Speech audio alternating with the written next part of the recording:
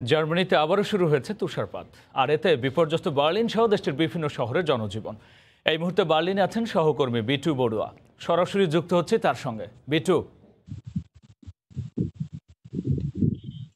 রাব্বি, আপনাকে অসংখ্য ধন্যবাদ। আসলে আর্কটিস পোলার ক্রাইস থেকে এই মুহূর্তে ঝড়ো তুষারপাতের যে বিষয়টি আমরা দেখতে পাচ্ছি, এটি শুধু জার্মানির বার্লিন নয়, ব্রান্ডেনবুর্গ নয়, পুরো কথাই বলতে গেলে জার্মানির উত্তর থেকে শুরু করে মধ্য জার্মানি হয়ে একেবারে এই পোলার ক্রাইস কিন্তু এতটাই আক্রমণ করেছে আজকে। জার্মানির সবখানে কিন্তু অবস্থা খুবই খারাপ। এই মুহূর্তে ঝড়ো বাতাসের কারণে এবং ঝড়ো তুষারপাতের কারণে আসলে কথা বলা এবং দাঁড়ানো সত্যি মুশকিল হয়ে যাচ্ছে। তারপরেও এটি কিন্তু উনিশশো আটাত্তর সালের পরে, উনিশশো আটাত্তর কিংবা উনিশশো উনআশি সালের পরে কিন্তু এই ভয়াবহ তুষারপাতের কথা কিন্তু জার্মানির আবহাওয়াবিদরা বলছে।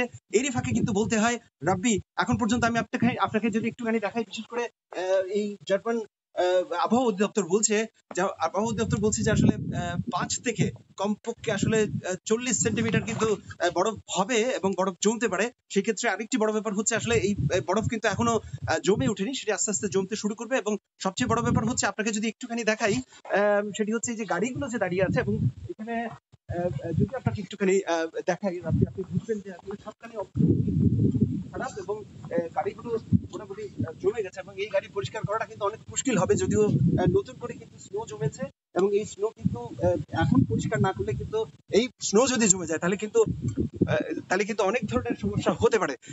সেই ক্ষেত্রে আমি রাব্বি আপনাকে এটুকু এটুকু এটুকু বলতে পারি যে আসলে জার্মানির যে অন্যান্য অঙ্গরাজ্যে বিশেষ করে এখন পর্যন্ত আসলে দুশো তিরিশটারও বেশি কিন্তু দুর্ঘটনার ঘটনা কিন্তু আমরা শুনতে পেয়েছি এবং জার্মান পুলিশ এবং দমকল বাহিনী তারা কিন্তু প্রস্তুতি প্রস্তুতি সম্পন্ন করেছে এবং জার্মানি থেকে নেদারল্যান্ডসে যাওয়ার যে যে ট্রেন চলাচল, সেটি কিন্তু বন্ধ করে দেওয়া হয়েছে। তো সব মিলিয়ে আপাতত এই ছিল আমার কাছে তুষারপাতের সর্বশেষ, তবে প্রবাসীরা এখনও নিরাপদ আছেন এবং তাদের অবস্থাও খুব ভালো, আমরা জানতে পেরেছি।